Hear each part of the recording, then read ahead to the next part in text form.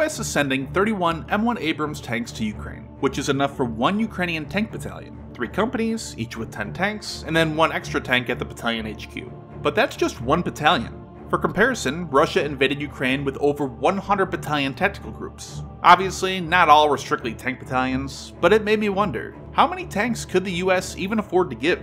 I've looked into Russian tank storage sites, but how about the US? It turns out that even with losing nearly 2,000 tanks, Russia still has significantly more tanks than the US. And the US number continues to drop. First, real fast, our sponsor, YouGov. With the economy the way it is, we could probably all use a little extra cash these days. One thing I've done now for over a decade is make 3D models and sell them online, and also often use those models to animate a clip for my videos. In fact, I have this one rendering right now as I'm making this. They can take a long time to render though, just waiting around. So for me, it's a perfect place to make some extra money by doing surveys on YouGov. It's a great side hustle, and for me, I guess a side hustle for my side hustle. It's free to join and easy to start making some cash. And as a member, you'll earn points for giving your actual opinions on matters that can make a difference by completing short surveys and polls. And they're real quick and easy to do. This one took less than 30 seconds. So go over and give it a try for yourself. Click my link in the description and take surveys to earn cash on YouGov.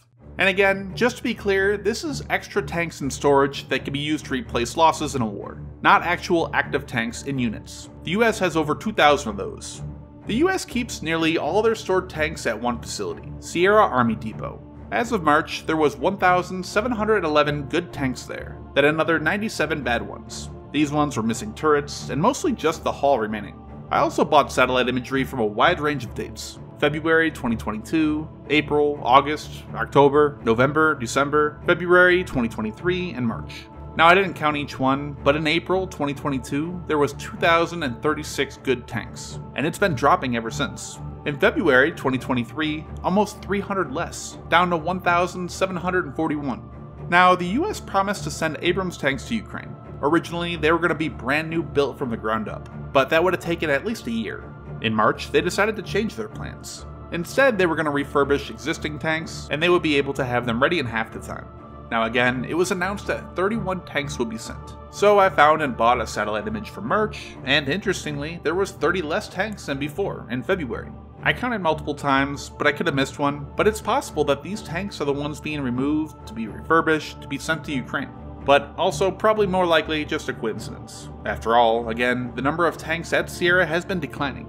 The US also stores some tanks at Anniston Army Depot. Not as many, and Anniston does a lot more maintenance and conversions, but I found some 488, with another 204 stripped down hulls. Now again, just like when I did the Russian tanks and storage videos, it's impossible to know for sure the condition. Unlike Russia though, they are constantly being moved around, which likely indicates that they're in better shape. So, in total, the US has 2,199 good tanks in storage. And then if you count the 301 hulls, it puts it to a total of exactly 2,500. Now again, for comparison if you didn't see the video, as of February this year, Russia had around 3,911 good tanks in storage, and 6,341 if you include the bad tanks. But that number of US tanks is around 30% less than you'll typically see posted online. Now, before saying those people are just wrong, there's a few reasons I could explain it. One is that the US is constantly taking old M1s and M1A1s from storage and upgrading them to the latest M1A2s. This year, there were 90 in the budget to be upgraded.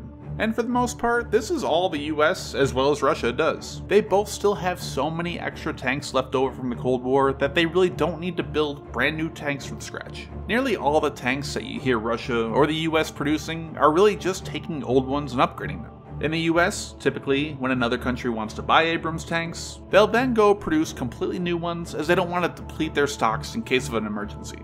Along the same lines is that many Abrams tanks are being converted into other vehicles. There are another roughly 600 vehicles at Anniston that uses the Abrams chassis, things like the M1150 and the 1074 that are assembled there, and this explains why there are so many just hulls of tanks there. So, different ways of counting them can give you different numbers. But also, the US does something that nobody else does. They keep stocks of vehicles, equipment, and supplies in storage sites around the world. It's called PWRM, Prepositioned War Reserve Material.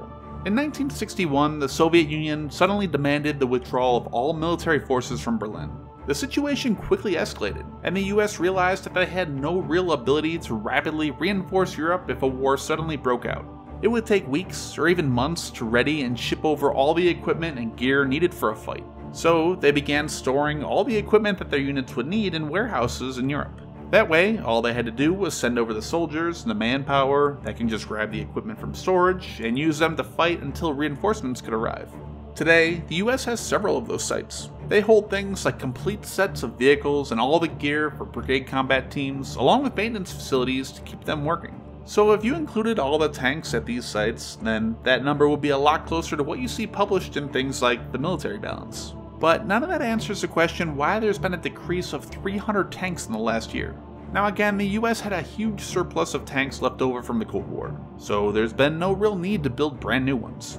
But more than 30 years have passed since. Some of those tanks are now past the point of saving, some might have been lost or totaled in accidents, and so on. For a while now, the US has been trying to develop a replacement for the Abrams, so new Abrams hulls were not built. But those programs, like the XM1202, ended up being cancelled for budgetary and technical reasons. Now, don't get me wrong, they still have plenty of tanks for their own needs, but when it comes to quickly supplying countries like Ukraine with them, who don't have the time to sit around and wait to build new ones from scratch, they're starting to dip into the reserves. Now, the US could probably give Ukraine around 100 or 200 before the drawdown interferes with war reserve requirements and the advanced procurement programs they have set up. But that's all ignoring all the training and logistics for more serious maintenance and repairs that would go along with sending that many to Ukraine. It's possible, though, that in the future, a lot more than 31 will be sent. Maybe this smaller amount is just to make sure that sending these tanks is actually successful and more useful than any alternatives, such as sending more Bradleys or other equipment. Anyway, that's it. After looking into Russia's tank inventory, I thought it would be fun to get some insight into the US tanks. And if you stayed through the video to this point, I'm sorry for the long delay in videos. I've had some personal stuff going on, and I needed to take a break for a little bit. But I really, really appreciate you guys watching and leaving comments. I don't get to respond to all of them, but I read a lot of them, and honestly, it really means the world to me. So sincerely, thank you so much.